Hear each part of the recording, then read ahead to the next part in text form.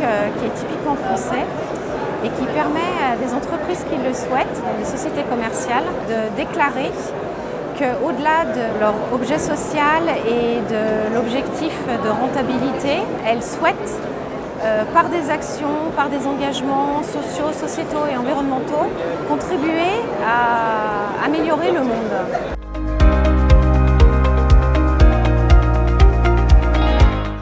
Typiquement dans une mission de conseil euh, où l'expert comptable va pouvoir euh, accompagner son client au niveau stratégique, déjà pour euh, informer son client que ce, dispositif existe. Alors ça s'adresse à des clients qui ont déjà des valeurs et qui ont une volonté de, faire des choses qui ne sont pas dans le monde associatif, qui sont dans le, dans le secteur commercial, mais qui ont une démarche.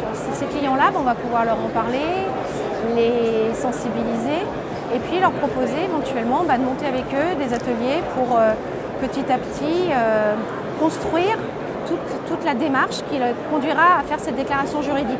Donc on soit la démarche, bah, c'est euh, avec des groupes projets, réfléchir à sa raison d'être, réfléchir à sa mission, c'est-à-dire le décliner en engagement statutaire pour aboutir à la déclaration juridique.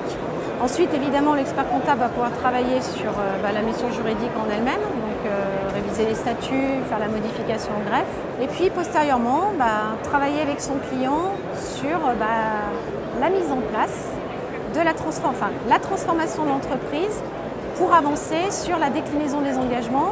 Alors ça va consister à, premièrement, euh, transformer les engagements statutaires en objectifs opérationnels et puis ensuite bah, accompagner euh, la démarche euh, de transformation, les projets.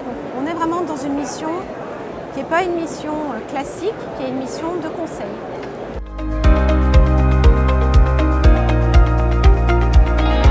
C'est une vraie opportunité pour, pour les cabinets de mettre en place ce type de mission parce qu'on on, s'inscrit dans autre chose que d'être des faiseurs de, comptes. On est aux côtés de nos clients pour parler de sujets qui leur tiennent à cœur, de sujets stratégiques, c'est aussi un moyen bah, d'embarquer nos collaborateurs sur euh, des, travaux à plus forte valeur ajoutée, de les sortir de leur quotidien, d'attirer du coup euh, des, collaborateurs qui peut-être euh, ont des parcours plus diversifiés, qui viendront après enrichir justement le reste de nos équipes en proposant d'autres missions que nos missions traditionnelles.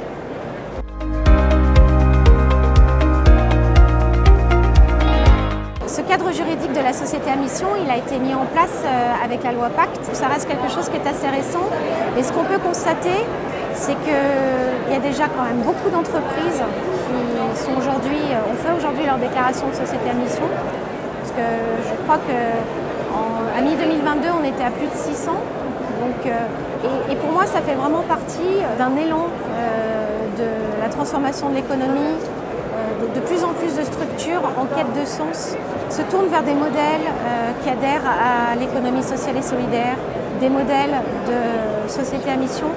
Et je, pense qu'en tant qu'expert comptable, bah, déjà d'une part, il faut qu'on soit au courant de, euh, ce changement qu'il y a, qu'on soit même de, de, répondre à nos clients s'ils nous posent des questions, sinon on est, vite hors jeu. Et puis bah, c'est une vraie opportunité de développer euh, de nouvelles missions au Québec.